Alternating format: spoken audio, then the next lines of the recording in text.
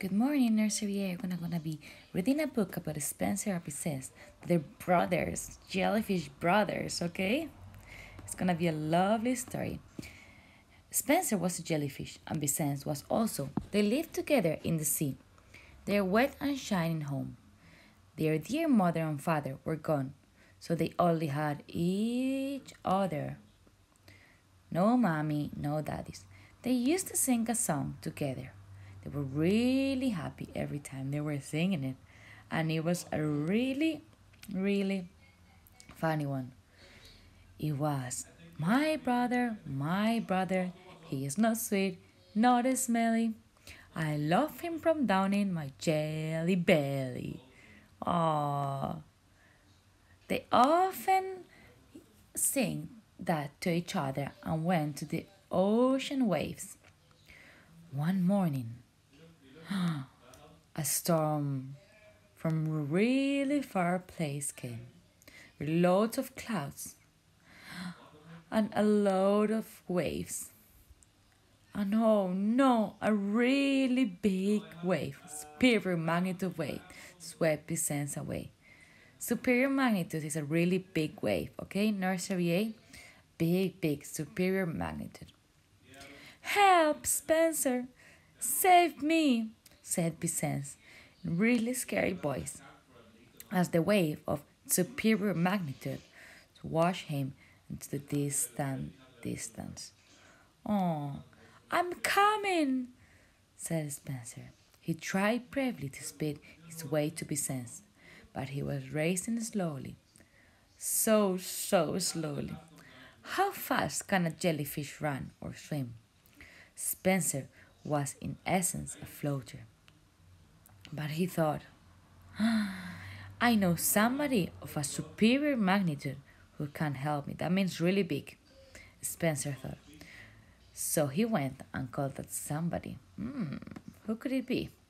Who do you think, nursery, eh? Who's that? Yes, that's gonna be a. What? What? Do you know it? What? What? A whale. Whale, please, please help me find my brother. Swept away by a wave of a superior magnitude. Whale, his friend Whale, said, Okay, which way did he go? That way, Spencer pointed his many tentacles excitedly. The whale landed himself over the wild and salty sea. Ahead of him was Spencer, ever on the lookout for Vicence's brother. Along the way, Spencer asked a mermaid he knew, Have you seen my brother? Your brother, who's sweet, not smelly. Yes, that brother. Hmm. Sweat, not smelly. He was washed by a wave by a wave of superior magnitude, said the mermaid singingly. All scaly and shimmery, he pointed towards a distant island. Thanks, Spencer said, and he paused on, nagged by good whale, the whale of superior magnitude. Have you seen my brother? said Spencer, really, really sad to anyone that came along. A seahorse rose up from a forest the forest that was in the sea. Have you seen my brother? asked Spencer. And the seahorse said, Yes, I've seen your brother. The seahorse showed him with his tail the way. Ah, so are they gonna go that way all together? Uh huh. Spencer said, Have you seen my brother? Spencer kept calling through the limpid ocean water. A sea star called from an outcropping of rock. Your brother, yes, I seen your brother. Oh, where? Spencer shouted, as loud as a jellyfish could possibly shout, obviously. There! The sea star waved an arm towards the beach. Oh, I think they're all happy because they can see him now, yes? And that's really good news. Sure enough, off in the distance, it was Vicente. He looked woozy, dizzy, touched, and stunned from the storm. But how grand! He was afloat on water, not stranded in the sun. Spencer was overjoyed, really happy. But he didn't go near for fear he was scared of being beached to go to the beach and not being able to go to the sea.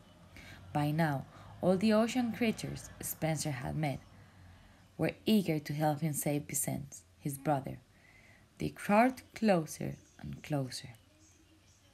But do you know how can we do that? Maybe because someone can help. Oh yes! Suddenly, a passing pelican, a bird, came. Hold fast! I'll skip him up, he declared.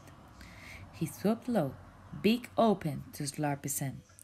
Please don't! Spencer shouted, concerned that the pelican might swallow Vicente, of course, by accident. Oh, I can understand that. Everybody understood that love of a brother, even the pelican. In mid-death, somewhere else, there was an essence. Stand back, friends, I'm rushing in, yelled Spencer, despite his fear of being washed up on the sand. He gathered all his jellyfish self together. He blasted with all his jellyfish heart. My brother, my brother, still sweat and smelly. I love him from down in my jelly belly. that sound perked Vicente up. The sound of his brother's voice, Vicente blinded his eyes. Brother, I don't think I can make it. Oh, poor Vicente, look at his face. He's a wee bit, uh, a wee bit sad even, isn't it? Yes, you can, called Spencer inspirationally. As one, they gathered safe all girls. Yes, you can. From Spencer's words, Vicente took heart. With his last spark of birth, he slurped himself feebly towards Spencer. Oh, look at them! They're again together. Then the whale smacked a fluke of superior magnitude and sent a foaming wave. The wave washed Vicente up, floating him to Spencer.